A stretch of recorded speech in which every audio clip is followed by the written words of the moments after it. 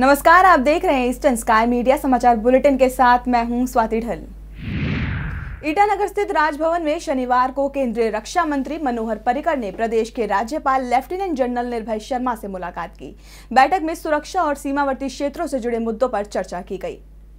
केंद्रीय रक्षा मंत्री मनोहर पर्रिकर से मुलाकात के दौरान अरुणाचल प्रदेश के राज्यपाल लेफ्टिनेंट जनरल निर्भय शर्मा ने कहा कि प्रदेश के सीमावर्ती गाँवों को आत्मनिर्भर होने की ज़रूरत है।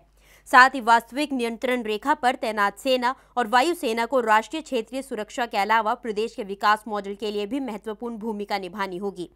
निर्भय शर्मा ने मनोहर पर्रिकर से आग्रह किया कि सीमावर्ती क्षेत्रों में सशस्त्र बलों और आम जनता के लिए बुनियादी सुविधाएँ, संचार और स्वास्थ्य की व्यवस्था को दुरुस्त किया जाए। इसके साथ ही राज्यपाल ने राज्य के लिए टेरिटोरियल आर्मी बटालियन के प्रस्ताव को भी दोहराया।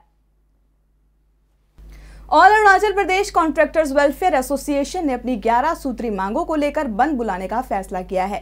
एसोसिएशन ने राज्य सरकार को मांगे पूरी करने के लिए 20 दिनों का अल्टीमेटम भी दिया है।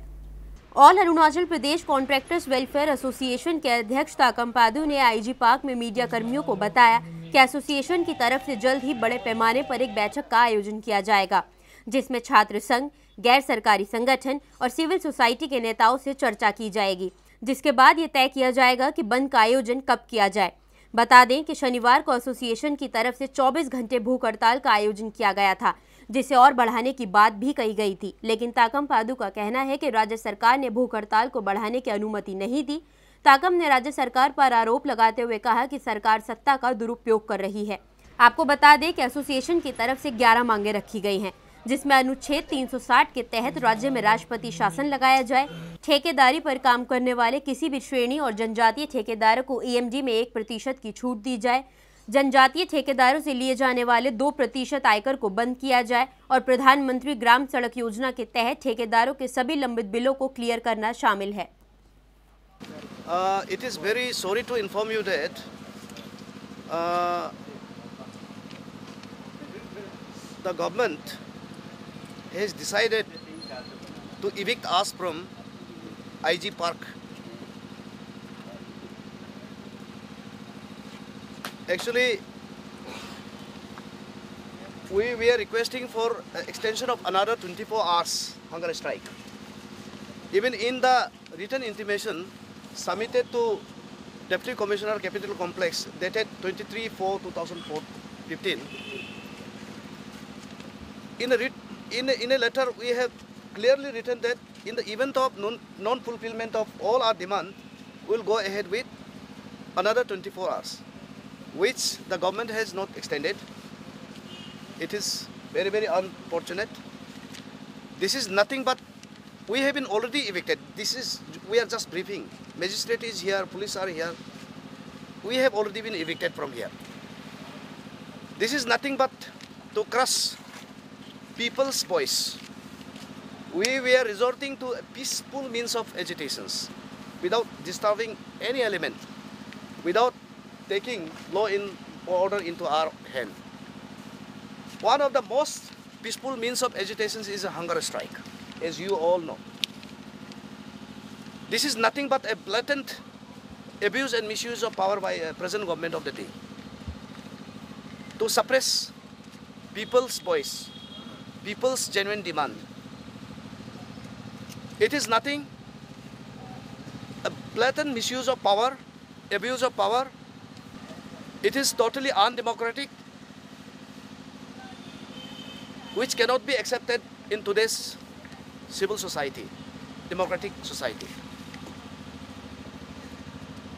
We have got no option than to obey the magistrate order. So there- therefore,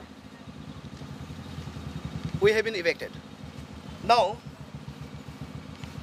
we have decided to intensify our mass democratic movement by means of rigorous ban calls, jail baro andolan, and we are going to hold mass consultative meeting various leaders of civil societies, student leaders, NGOs, public leaders.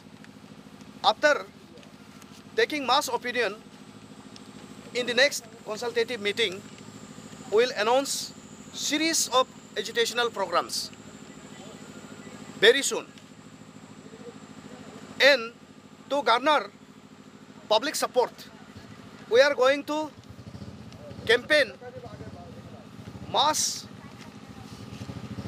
we will mobilize mass public opinion and if the people of the state endorse us to go ahead with our educational program we won't care by what means the present leadership present government may adapt to suppress our voice will not bend down इसलिए हम लोग ने सब समर्थक civil society का leader से, नेतागण से सलाह मशवरा करने के बाद हमने ये निर्णय किया कि हमारा आंदोलन अभी और तेज़ी से आगे बढ़ेगा। Another ultimatum of twenty days time we are announcing until twenty days time if government fails to responded to our calls governor of Arunachal Pradesh fail to intervene what we demand for article 360 within 20 days time frame we will announce series of educational program democratic mass movement very soon after having uh, due consultations with all the stakeholders people uh, senior citizens uh, political leaders student organizations and the civil society leaders thank you nothing nothing कोई reason नहीं दिया we we sought reasons from the magistrate on duty here even from police they have not given us any reasons for evictions or evictions from here. It is nothing but a misuse of power, abuse of power. And this decision we have arrived at with due consultations of our like-minded organizations who are supporting our movement, which are as follows. All Arunachal, all Arunachal Pradesh Youth Welfare Association in short A A P Y W A second Arunachal youth sorry Youth Organisation Movement of Arunachal in short Y O M A Arunachal Youth Organisation A Y O Arunachal Against Corruption Sena AACS. All Arunachal Pradesh Unemployed Union AAPUU Save Arunachal Youth Association SAYA Together with these associations we have decided this future course of action and we have already constituted a joint action committee and we will work out other modalities and modus operandi in the days to come together. The entire uh, financial document is in public domain. Repeatedly I am saying this. And repeated suspension of government transactions by Reserve Bank of India itself is proof. Whatsoever government statements comes, it is nothing but a public eye wash. It is a mere public eye wash.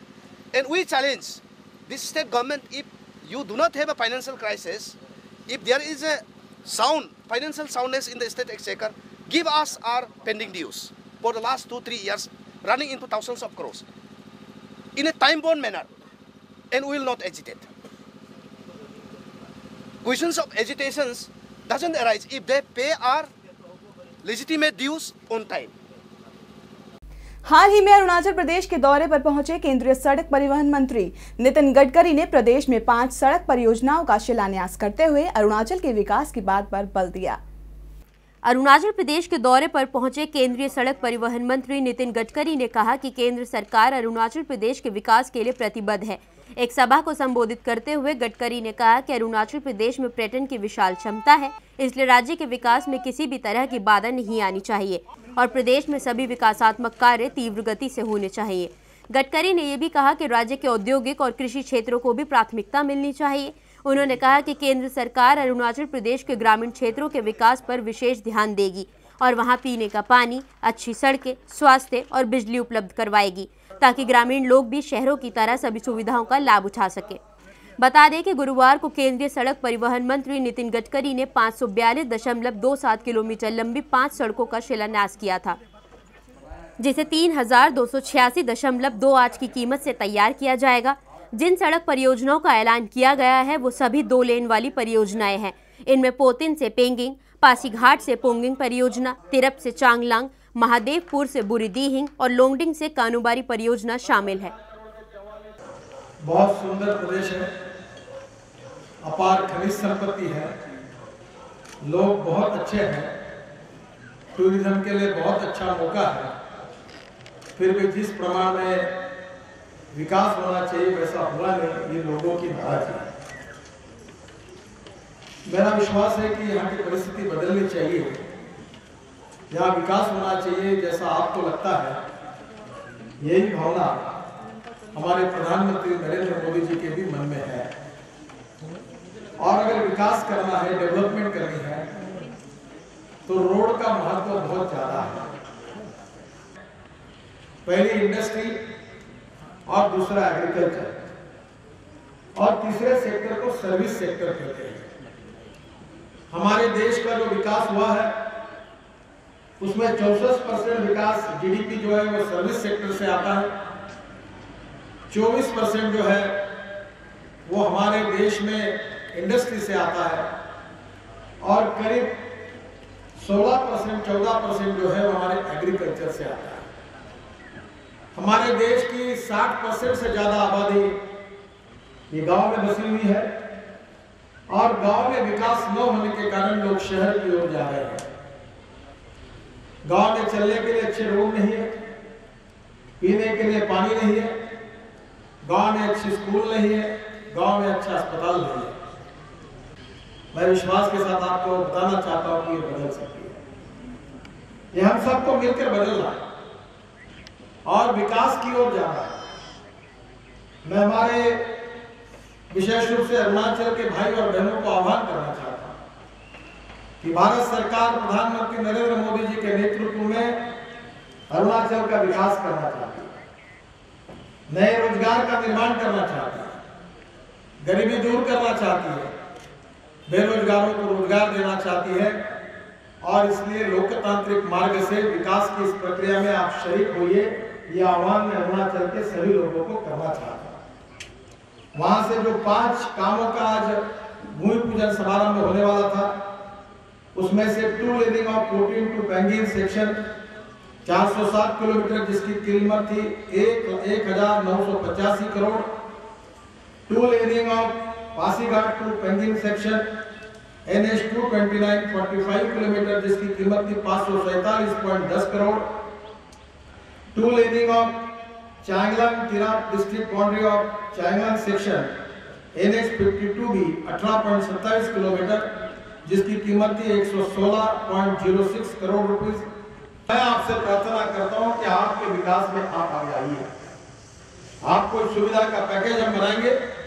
समय पर काम करिए, मेहनत से काम करिए, अच्छे quality का काम करिए। और जितना ज़्यादा अर्थवर्क के बारे में मैंने बताया कि एक एक को एक एक पैकेज दे दो। और चार पैकेज बीच में खाली रखो। फिर एक को दो। जो एक पैकेज पूरा करेगा, उसको दूसरा दो। जो अच्छा काम करेगा, उसको दूसरा दो। जो दूसरा भी अच्छा करेगा, उसको तीसरा दो। और जो एक भी अच्छा काम नहीं करेगा, उसको हटा दो। जो अच्छा काम करेगा, उसको काम मिलते जाएगा, और जो खराब काम करेगा, उसकी छुट्टी कर देगा। वो मेरे पास बताइए मेरे एमपी की चिट्ठी में कोई काम नहीं करूँगा। ना मंत्री के काम करूँगा। जो अच्छा काम करेगा, वो कोई भी पार्टी का उसको काम मिलेगा। इसी प्रकार से किया तो काम हो सकता है। और माननीय मुख्यमंत्री जी को विश्वास देना चाहता हूँ कि हम लोग रोड सेक्टर में यहाँ अच्छा काम करना चाहते हैं। इसीलिए हमने कारपोरेशन खोली है। ये कारपोरेशन पहली बार नॉर्थ ईस्ट के रोड बनाने के लिए खोली है। और पूरे नॉर्थ ईस्ट के काम हमने इस national highway infrastructural development corporation को दिए मैं किसान का बेटा हूँ। पंद्रह हज़ार लड़कों को मैंने हमारे क्षेत्र में रोज़गार दिया काफ़ी गाँव जी आए थे, यहाँ के लोगों को लेकर। तब उन्होंने देखा है। हम पेट्रोल, हमारा किसान पेट्रोल बनाता है, डीजल बनाता है और गैस भी बनाता है। और हमारे यहाँ गाड़ी भी चलती है चीनी मिलें भी चलती है। आज हमारे गाँवों की हालत अच्छी नहीं है। किसान की हालत अच्छी नहीं है। देश का विकास हमको करना धनवान देश है। We are a rich nation with a poor population देश दरबारे पर जनता गरीब है क्योंकि हमने सही दिशा देश को नहीं दी। और यही सही दिशा विकास के देश को मिले, देश का विकास हो और अरुणाचल का रोड सेक्टर का काम पूरा करने के लिए मेरी ज़िम्मेदारी है। आपको 10 परसेंट मशीनरी एडवांस भी हम देंगे। ट्रक खरीदने के लिए भी पैसा देंगे। मशीनरी खरीदने के लिए भी पैसा देंगे। मोबिलाइजेशन एडवांस भी देंगे। और आपके पैरों पर आप खड़ा रहिए और आप काम करिए। हज़ारों लड़कों को, युवाओं को अरुणाचल में रोज़गार मिलना चाहिए, रोड बनाते समय ये मेरी इच्छा करेगा अच्छा काम करेगा, उसका पेमेंट तुरंत मिलेगा। काम में बीमा नहीं करोगे तो काम से बाहर निकाला जाएगा, उसमें हम रखेंगे नहीं। आप पंद्रह परसेंट, बीस परसेंट जो कमाना है, कुशल कमाइए। मुझे कोई आपत्ति नहीं क्योंकि आपको कमाना ही चाहिए। पर क्वालिटी के बारे में कॉम्प्रोमाइज नहीं होगा त्रिपुरा में रविवार को कड़ी सुरक्षा के बीच शांतिपूर्ण तरीके से tribal area autonomous district council के चुनाव संपन्न हो गए। इस बार 175 उम्मीदवार चुनावी मैदान में थे। अब 6 मई को इनकी किस्मत का फैसला होगा। त्रिपुरा में रविवार को 28 सीटों के लिए टीटीएडीसी के चुनाव शांतिपूर्ण तरीके से संपन्न हो गए। क्षेत्र में पहली बार चुनाव इलेक्ट्रॉनिक वोटिंग मशीन के माध्यम से कराए गए हैं। लगभग सभी मतदान केंद्रों पर मतदाताओं की लंबी कतारें देखने को मिली। महिलाओं और युवाओं ने इस बार बढ़ चढ़कर अपने मतदान का इस्तेमाल किया। रविवार सुबह सात बजे से ही मतदान केंद्रों पर भीड़ जुटनी शुरू हो गई थी और शाम छह बजे तक भारी संख्या में लोगों ने वोट डाले।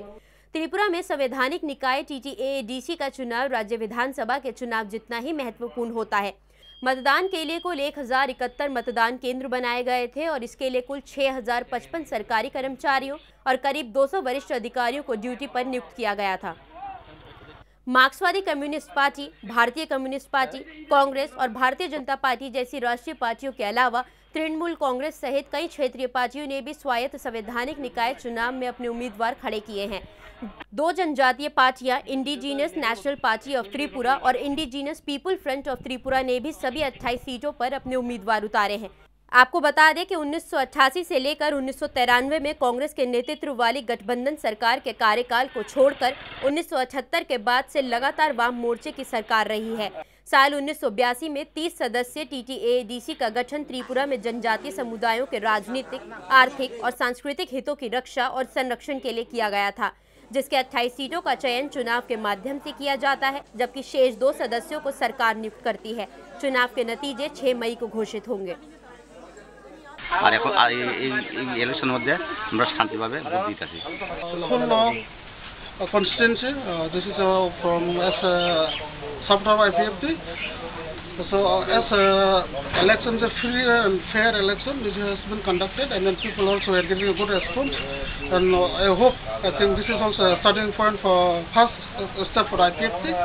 Hope so in the near future we will be getting more support and I think what is the demand that we claim I think this will go on success. Agartala के गोमती ज़िले स्थित आरकेपुर पुलिस स्टेशन में हिरासत में बंद एक आरोपी नूर इस्लाम की मौत हो गई। परिजनों का आरोप है कि पुलिस की बेरहम पिटाई की वजह से नूर की मौत हुई है। गोमती ज़िले के आरकेपुर पुलिस स्टेशन में गुरुवार को पुलिस लॉकअप में बंद नूर इस्लाम नामक एक शख्स की मौत हो गई। दरअसल, नूर इस्लाम को नशे की हालत में लोगों को परेशान करने के जुर्म में गिरफ़्तार किया गया था, लेकिन संदिग्ध हालत में हुई नूर की मौत ने सबको हैरान कर दिया है। नूर के परिजनों का आरोप है कि पुलिस ने नूर की बहरहमी से पिटाई की थी, जिसकी वजह से उसकी मौत हो गई। नूर के भाई का कहना है कि नूर के शरीर पर चोट के निशान है, जो ये साबित करते हैं कि उसके साथ मारपीट की गई थी। वहीं आईजी अनुराग धनकर ने सभी आरोपों को सिरे से खारिज करते हुए कहा है कि नूर के साथ मारपीट नहीं की गई थी। आईजी ने कहा है कि पुलिस स्टेशन में सीसीटीवी कैमरे लगे हुए हैं और कोई चाहे तो उसकी जाँच करवा सकता है। उन्होंने बताया कि नूर को लॉकअप में मृत पाया गया था, जिसके बाद उसे अस्पताल भी ले जाया गया था। धनकर ने बताया कि नूर की मौत पर मजिस्ट्रेट स्तरीय जाँच के आदेश भी दे दिए गए हैं। खबरों के इस अंक में फ़िलहाल इतना ही। नमस्कार।